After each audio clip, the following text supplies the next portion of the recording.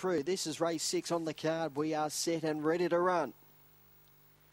Racing, Sokio began moderately and Dawn Mini out wide, fired out. Aston Ebert is charging in the early stages. Aston Ebert's going to run to the lead by three. Over Dawn Mini, Sokio getting to the outside.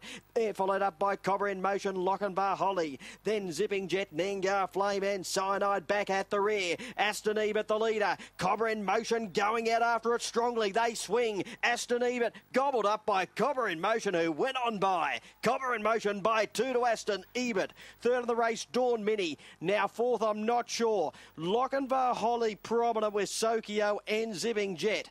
They were followed in by Cyanide and Nangar Flame never got into the race.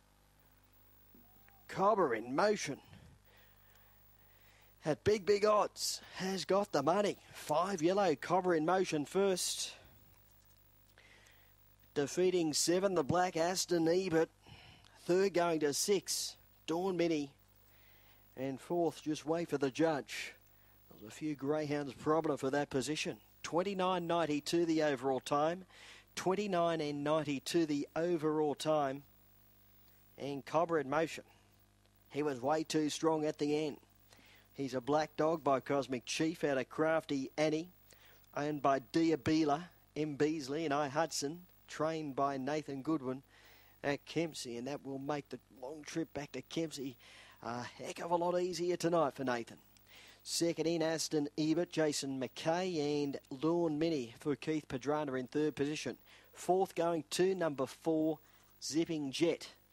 Five, seven, six, and four are confirmed. Three and a quarter the winning margin, two and three quarters between second and third. Three and a quarter by two and three quarters